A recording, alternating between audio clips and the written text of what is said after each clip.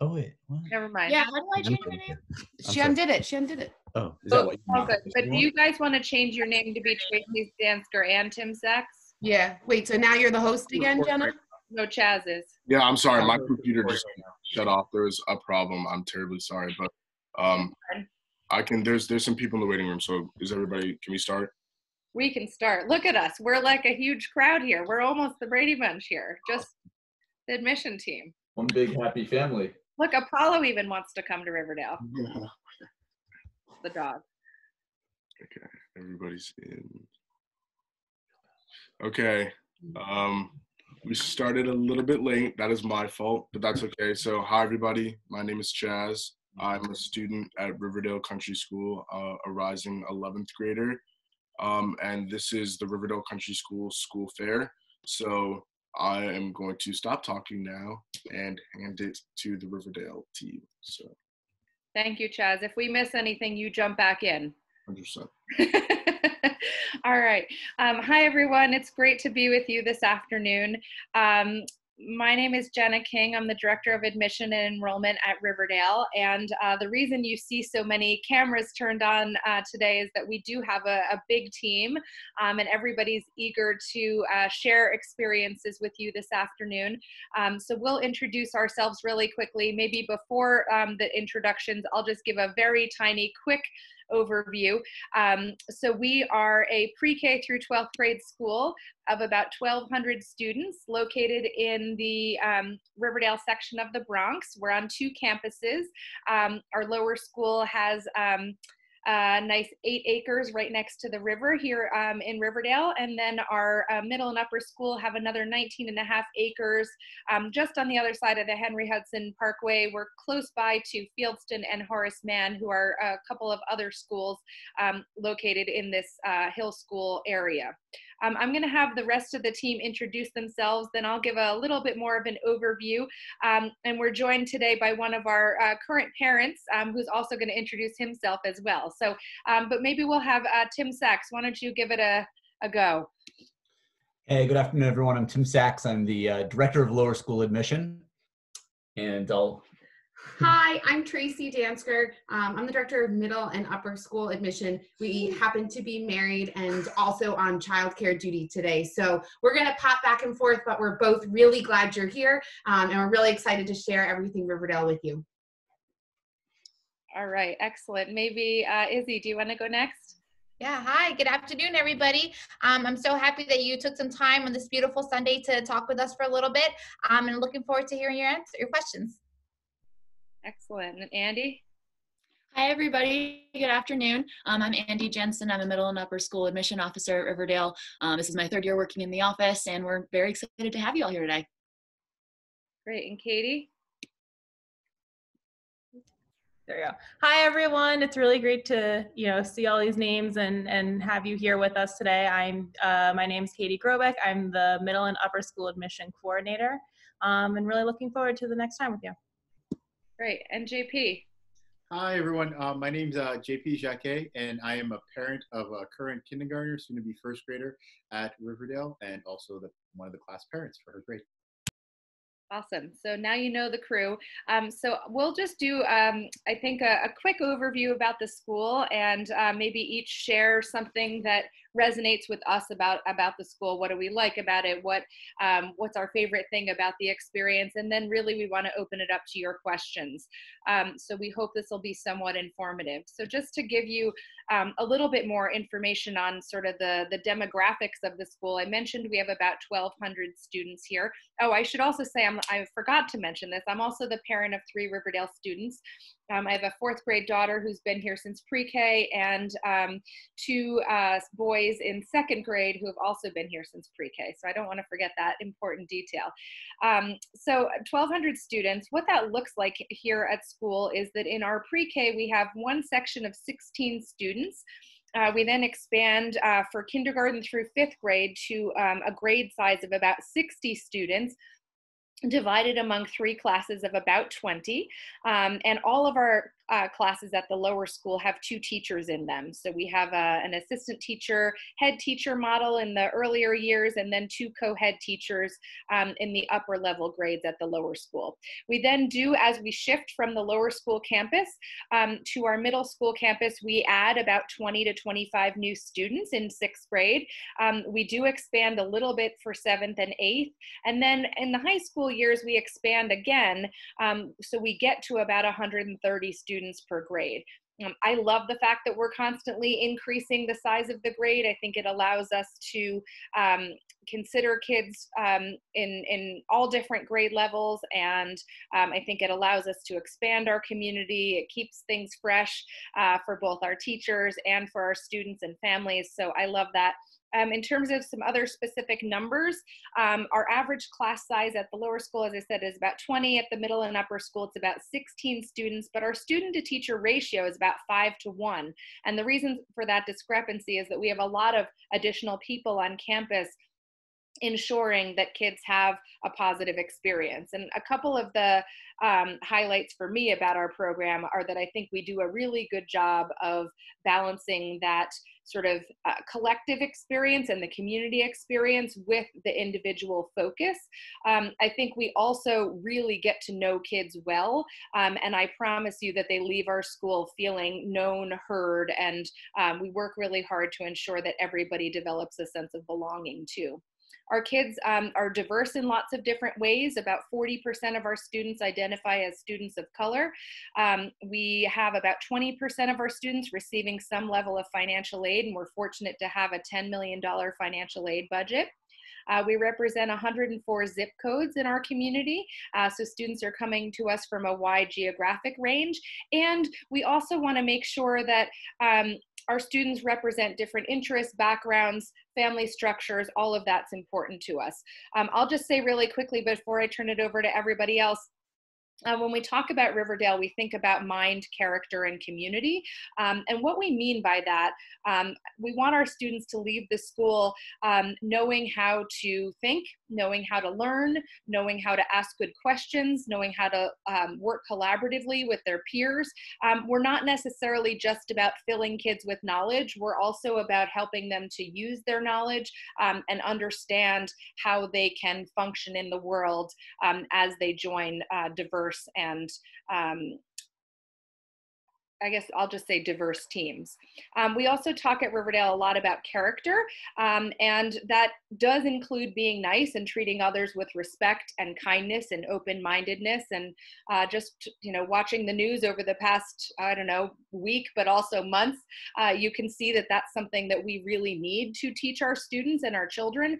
Um, and so that's important to us. But I think we also take it one step further, we also really want kids to develop other character strengths um, such as resilience and teamwork and grit. And those are things that we want them to really understand about themselves. Lastly, community is a huge part of who we are.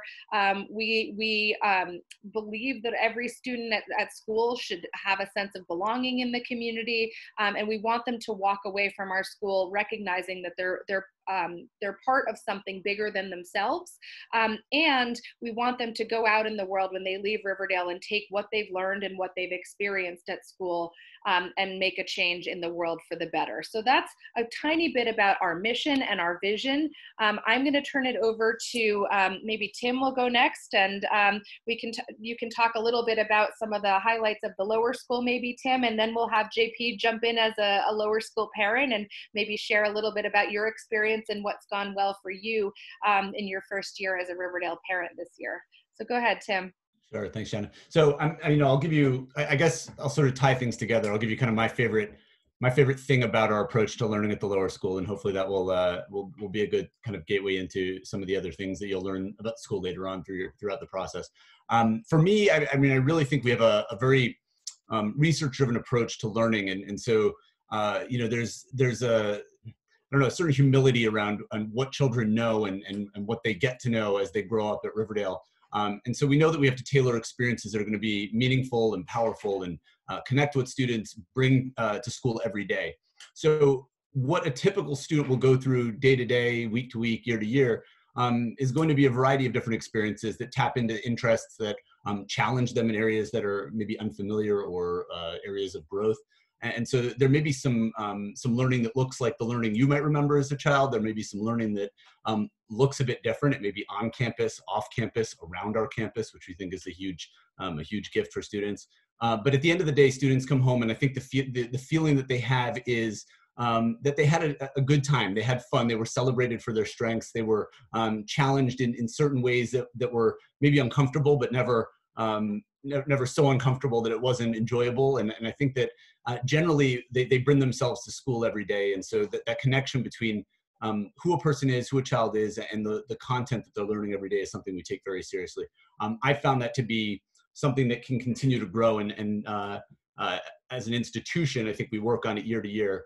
And um, I'll just say quickly, my, on a personal level, my favorite thing about the community um, is is the humility that everybody has, and I think that that that's not only for teachers and administrators and, and staff and folks on campus who are taking care of children um, and and shepherding their learning, but um, but but just generally also for the parent body. There's a certain um, acknowledgement when parents join us that this is not a, a, straight line and that you know we're partnering with you uh, to, to, help watch these children grow up and um, develop them as students and as people and um, and you have to be humble in doing that. There's no um, there's no one size fits all. And uh, it's been really enjoyable for me personally. I was a student at riverdale long long ago and then i was a, a teacher in kindergarten and pre-k. And so um, i've grown up there in many ways uh, myself. And so um, it's a place that embraces learning for, for the entire community. And again I, I think having a kind of humble mindset around learning is, is very beneficial for a student. So I, I hope that makes sense. I look forward to, um, you know, having you visit us, learn more about us, and, and get to know some of the details of our program more. Um, and it's exciting to chat about, about the lower school in particular.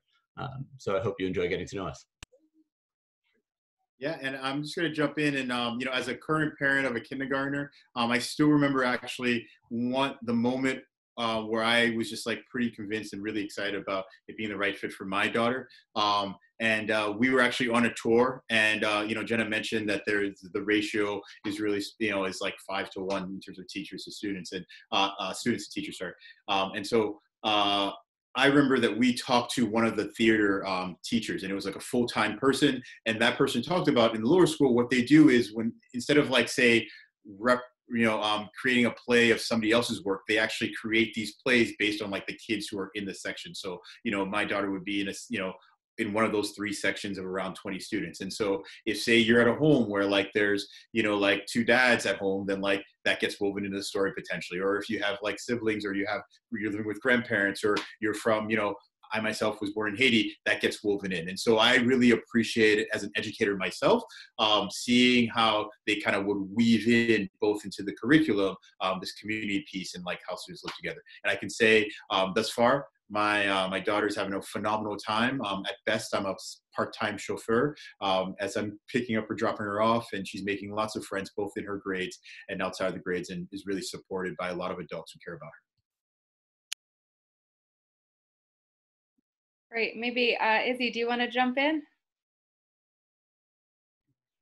Yeah, for sure. So one of my favorite things um, about Riverdale and that I get to see sort of every day is the amount of support that our students have. It's something that I really value. Um, although my parents don't go there, but as a parent, when you send your child to school, you hope um, that they are being taken care of and loved as if you were there, and as you know, as, and I truly see that every day at Riverdale. Um, one of the ways in which I see that is through our dean program and our advisory program as well. So their deans are really a huge lifeline for the students. They are the main point of contact for the parents as well. They are the person that is an advocate for your child, um, is a cheerleader for your child when they do well on an exam, or maybe it's a big, you know, if the child has a question about how do I go meet with my teacher, you talk to your dean. They really sort of um, make sure that that you are connected with all the other people on campus and different ways for you to grow and your experience um, at Riverdale to be a little bit better.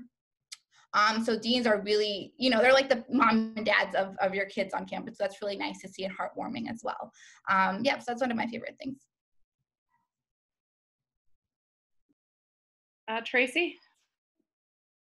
Hi, everyone. Um, I think that one of the things that I really love about the school is, um, you know, I, I heard Jenna talking a little bit from the side over there about the size of the school. And I think one of the things that I really love regarding the size, which is sort of a silly thing to love, is that it creates a plethora of opportunity for students. And no matter what grade level you're considering entering at, whether that's kindergarten, sixth grade, ninth grade, third grade, you want to know that your child's going to be in a place where they can grow and change and take advantage of different opportunities and that you're not necessarily picking something that um, you know that might not be the best fit for them later on. Um, so often you know if you are like oh you know my child is really into science and soccer right now and they're applying to sixth grade. That's fantastic. But maybe by the time they're in 10th grade, they're really going to be interested in Shakespeare and dance. And I think Riverdale has so many opportunities connected to its size. There's so many students, we can offer a variety of different opportunities.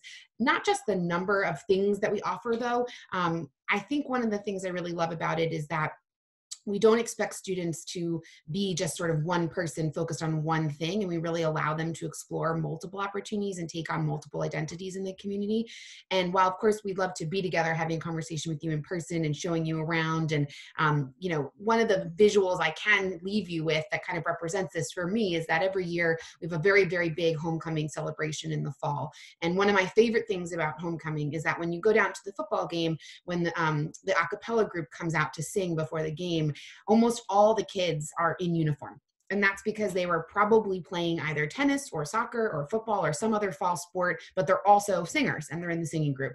Um, and that's just one example. You know when i look at the kids in that group um, they've also been you know really active in our science research program over we have a summer science research program or maybe they're a leader of one of our affinity groups or some other thing as well. Um, but i think that that's something that i am always impressed with and something i think we work really hard to encourage in our student body. And i think our size lends itself to being a place that we really can can give that many opportunities to kids.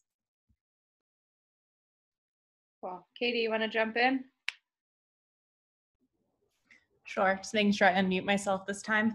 Um, I think one of my favorite things about Riverdale, and I'll, I actually didn't say this earlier, was um, this is my first year working at the school, and uh, something that really impressed me from the start was seeing um, all of the relationships that are formed between the students and each other and between the students and their uh, teachers and like the faculty and how they you know work you know the faculty open up a lot of times to work with the students if you know you're in middle school or upper school and there's something that you don't understand in your class uh, they will make sure that they put aside some time, whether it's during lunch or during a free period or before or after school, to really work with the students to not only help them understand a topic in a class, but also just to get the get to know them a little better.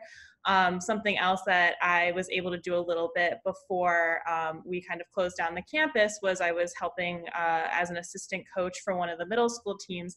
And I was able to hear the players on the team talk about uh, how much they enjoyed certain classes that they had. And a lot of the common reasons why they enjoyed those classes was because of the relationships that they had formed with their teachers. Um, and so that's something that was important to me when I was a student. And so it's really nice to see that that is definitely a thing that is um, available at Riverdale. So. Great. Andy? Yeah, so um, I think one of the most important things about Riverdale um, is the way diversity, equity, inclusion, and really belonging kind of manifest on our campus. Um, you know, Jenna mentioned that we have 40% of students um, who identify as students of color. Um, we allocate around $10 million to financial aid each year, um, which evens out to about 20% of our families receiving some sort of financial aid. We represent over 100 different zip codes. And of course, numbers are kind of important to get a sense of things, but what I really love about Riverdale is that our community um, works really hard to look beyond the basic numbers and statistics to strive not just for diversity on a surface level, but really go deeper to be equitable, inclusive, and a place where our students um, really belong. Um, our community engagement team has worked really hard um, in the past couple years to, especially this year, bring that belonging piece. Because um, we can have, you know, the numbers of students, but we want them to feel like our campus is a place that's kind of a second home to them. Um, and one of the my favorite things that's come out of this is really our student-led initiatives. Um, so our students are really taught and encouraged to use their voices and speak up for themselves. Um, and so with support from our community engagement team, students have created and led month-long celebrations like our Latinx Heritage Month that happens in September, October time. Um, we have a Black History Month, a Women's History Month. Um, we currently like, just wrapped up um, our Asian American Pacific Islander Heritage Month, and it's been harder now that we're not um, in person where students can come and like lead discussions um, educate their peers on things about their culture and heritage that are really important to them. Um, but lately, students have still taken up that mantle, and we've been sent email blasts several times a week um, highlighting important Asian American Pacific Islander um, kind of heroes, uh, whether they're authors, um, athletes, you know movie stars all of that stuff. And so i think that that's been really important especially you know as jenna mentioned this in these past couple weeks with all the news that's been coming out i think riverdale does a good job of not shying away from those um, hard discussions but bringing our community into the fold and helping us educate one another um, on these things that are really really important. Um, school isn't just for the grades you get but for what it's going to be you know once you leave our community. Great. So hopefully that gives you a little bit of an overview. We also want to open it up to questions, and I see that some of you have started putting questions in the chat, and that's great. Feel free to continue to do those. Um, I can start to answer some of those, and I'll, I'll send them around to different members of the team to answer as well. Um, the first one is about um, financial aid and um, financial aid becoming available for kids who are entering in, in high school. Um, I'm happy to speak to that. Sheila Hicks Rotella may have, uh, you may have attended her session earlier. She's our director of financial aid. Um, but uh, basically, you know, we are a school that um, at all of our major entry points, which for us are pre-K, kindergarten, sixth grade, seventh grade, and ninth grade, um, we do um, have financial aid available in those grades. Um, so, you know, we're unfortunately not at a point yet where we're totally need blind. There are, I think, very few independent schools in the area that are, um, but we try to be need aware and uh, we try to, if we're going to admit somebody, um, ensure that they um, receive the financial aid that they qualify for. Um, but please know that we do open up financial aid um, in sixth grade and in ninth grade. Um, I'm going to um, shift to Tracy in a second, but I see there's also a question about um, the ERB being required for kindergarten and sixth grade admissions given the era of social distancing. Um, let me just quickly speak to testing. Um, so uh, the ERB um, basically is, is sort of the organization that puts out some of the testing that we do um, require. Uh, we have for the last few years required the AABL testing for kindergarten admission. Um, that test is actually no longer going to be offered after uh, the end of June. Um, so uh, that is not going to be a requirement for kindergarten admission anymore. Um, we are looking at several assessment options um, that will be a replacement for that, but we have not yet decided on anything. Um, for students entering grades 5 through 12, um, we will require either the IS SEE or the SSAT. Um, both of those assessments are um, currently working on at home versions in case we're not able to get back to um, in person testing in the fall. Um, I have also received a couple of emails from both testing organizations that um, they will be um, offering testing at sort of one-off sites, not maybe the large group setting that they've offered in the past. Um, so I would say definitely stay tuned to our website for information about that. And I'm sure that Gina and RIISE will send out information about that as it becomes available in the fall. Um, obviously, COVID is is sort of wreaking havoc on our admission process, um, but I'm going to try to shift that into something um, some uh, somewhat of an opportunity um, and say that it's giving us a good chance to really assess what it is that we really are looking for um, and um, at all levels. And so we're going to do our best to build a process. I can assure you that we will get to know you and your kids um, in many different ways through this process. Um, I see the interview. Yes, um, you know, if we have to do virtual interviews, we will do that. Um, we've not made any final decisions on any of this yet, but I can assure you that we will communicate with you throughout the summer as we make decisions around all of that. Um, we, we don't feel that there should be one way to get to know a child or a family. We want to get to know you in multiple ways. Um, Tracy, do you want to take this question on how inclusive is your community for kids needing services for academic support? Yeah, no problem. Certainly. So I think, you know, one piece you should know uh, regarding admission in general, it's not just Riverdale, but, um, you know, if there are um, accommodations that your child has, that's something that we, we can't ask for um, in the admission process. And it's something that no, no one really, unless you're applying to a school that, um, you know, is serving students who have specific needs, should be asking you. General independent schools shouldn't be asking you for things, um, whether that's an evaluation or something like that. So, in general, everyone will submit the same material for an admission. Um, if you're looking at grades six through 12, um, yes, the interview, but things like transcripts, yes, the testing, um, we're gonna ask for uh, recommendations. There's a, a, whole host of things that allow us to assess the student's ability, um, not just their community fit, but their academic fit for, for the institution.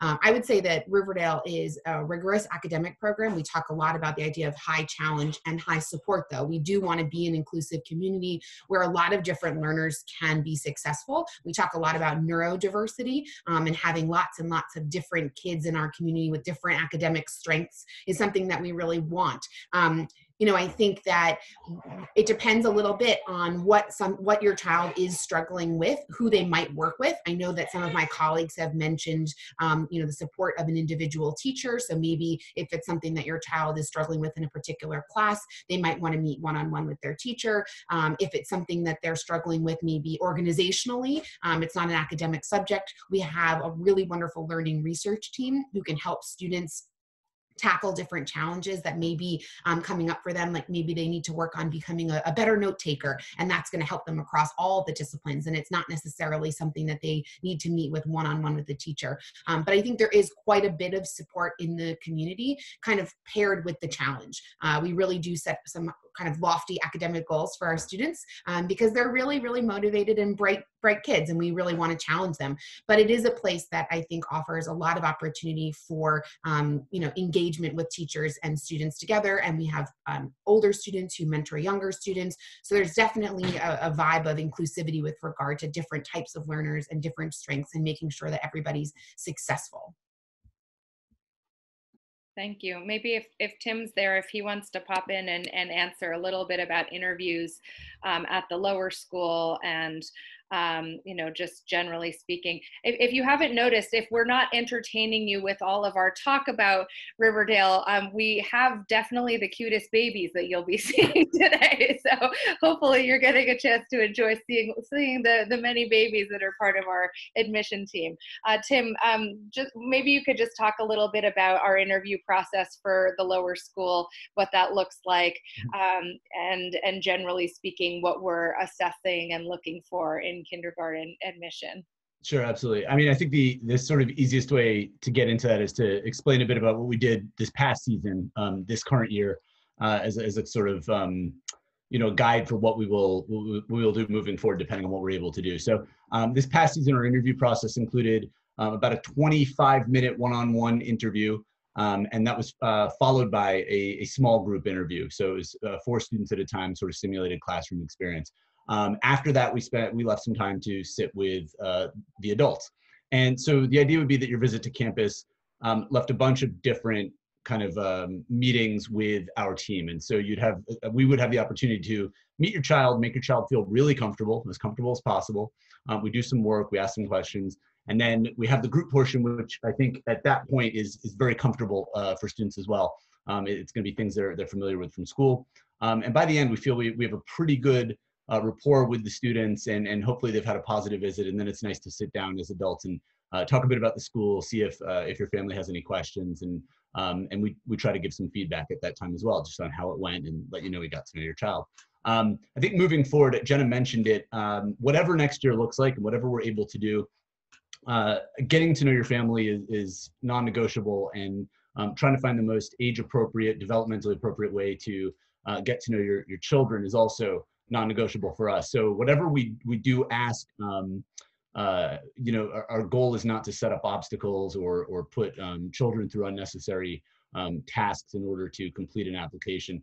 Um, for us, it's really important that we see them in, in the, the most sort of comfortable environment possible and, uh, and, and give them some time to to get to know us as well. And then uh, obviously we're going to work pretty hard to get to know your family as well. Um, you know, the rest of the application has in the past, it's included um, some form of third party assessment. We'll see what we do this year. Jenna mentioned it. We're, we're still um, in some discussions about that. Again, we're not going to do that just to do it. We're going to make sure that it it uh, it really is a, an intentional piece of our process. And the final piece is, uh, you know, getting information from the educators who spend who spend the days with with the students, and um, and, that's really valuable for us as well. I think uh, you know teachers have some really good insights to offer, and obviously.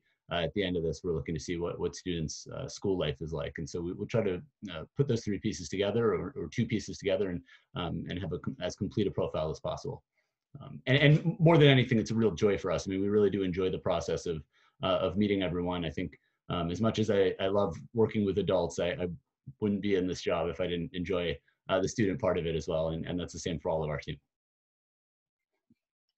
I think one one of the things that's coming across, which is what I shared in in my earlier session, I really think um, all of us at the school approach um, the admission process as a way to open doors to the school for you and your family. We're looking for reasons to admit you and your child to the school. We're not sitting there thinking about how we can sort of put up those roadblocks or or not invite you in. I think we're really thinking about um, how can we you know help you understand the values of the school, understand um, your child, and how can we work together um, to make a match that that will serve everybody uh, well, both on your side and ours. Um, are there other questions um, that that you'd like to um, ask us this afternoon? Are there other things that we can talk about, whether it's the process or any details about the school?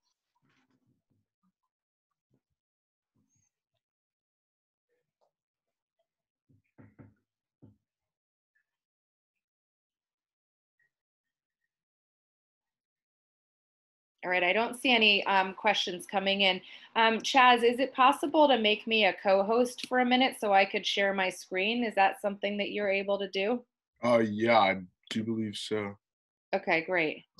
Um, I do. I do see while you're doing that, I do see a question in there. How will we handle school visits? And I'm assuming you mean for kindergarten, maybe. Um, if you could just, okay, uh, like I think you mean. I'm not sure if you. Okay, um, I, I, uh, I, think you probably mean coming to us um, and interviewing for the process and what will that look like. Um, again, I think that's probably going to be um, an online experience for, for all grade levels in terms of us, um, uh, you know, going to visit schools. Uh, you know, we, we'd love to do that, but I think that might be an interesting challenge this coming fall, depending on all things. I can imagine that if schools are opening, they're not going to be so excited to have us uh, visiting um, in person. So I think that's something that we'll sort of play by ear.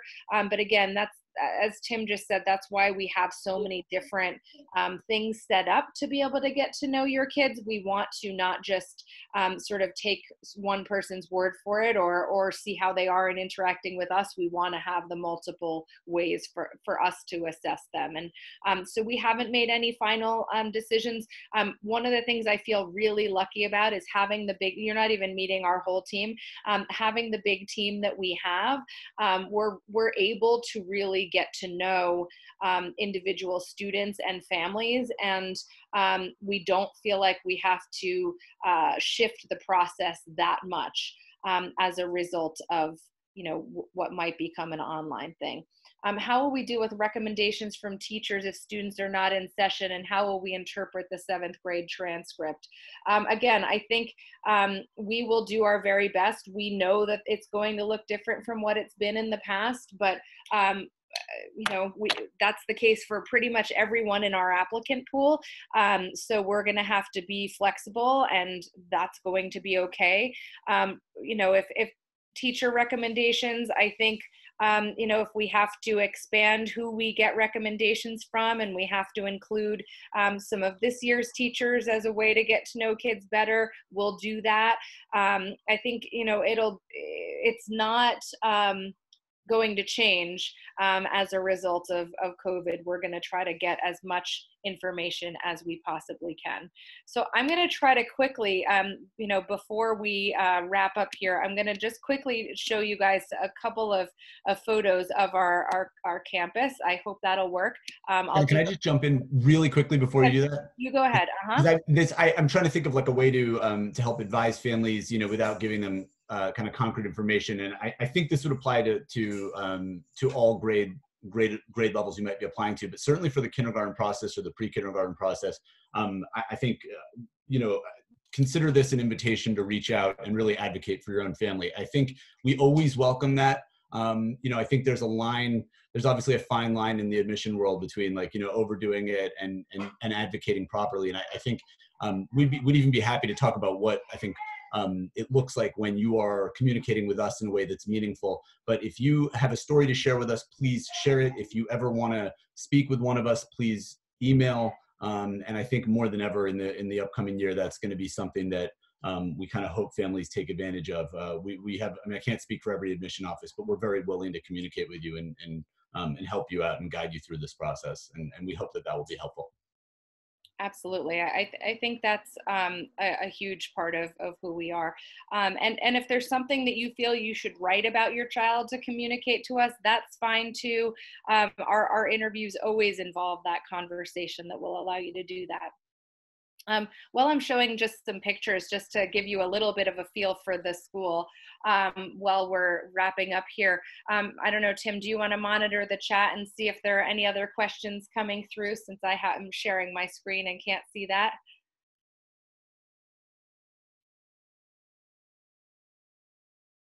Yes, I will do that. Sorry, okay. I realized I was muted. no problem. Yeah, I don't see any questions coming in yet. I, I do hope what's coming across is, um, you know, that all of us care about children and care about getting to know them. And, and hopefully some of what you're seeing um, in these pictures is, um, you know, just the, the close connections that our teachers have with um, their students, uh, that the students have with one another. Um, we're fortunate at Riverdale. Um, people often ask us about the, the oh, there's our, our Alvin Ailey residency, which is a special um, experience that we have at our lower school every January for a couple of weeks. So you're getting to see some shots there. Uh, we do really feel lucky to have the use of the campus and the space. This is one of our music classes here. Uh, so you're getting a, a quick look at, um, you know, kids kids doing real work. Um, and I think that um, it gives a, a, good sense of things. Here are some kids climbing a tree. That's all part of the experience at Riverdale. Tim, I think I saw something else come in the chat. Do you want to? Mm-hmm. Yeah, that is. Uh, the question actually, that- I I think the the pictures is a perfect way to actually end here because unfortunately we we are um, out of time. I'm okay. I feel terrible, terrible, terrible. Um, terrible. But we do we are on a on a tight schedule and we do want to like um, get you know our our break and then move into our second school fair session. But this was really, really, really awesome. And thank you guys so much for coming. Thank you. You can all ask us questions anytime. Email us admission at riverdale.edu or you can ask Chaz and he'll tell you all the great stories about being a student at our school. So thank you all for coming. Thank you, Chaz, for moderating and uh, have a great rest of your day. Thank you. Thank you. Thank you. Chaz, do we stay with you or we go out and come back in? Yeah, so I think I think I actually made you the host oh, Okay, so I should end. Okay. For everyone, and then you guys just go to the next one, and then I'll let you guys all in right now. Okay, great. Thank you.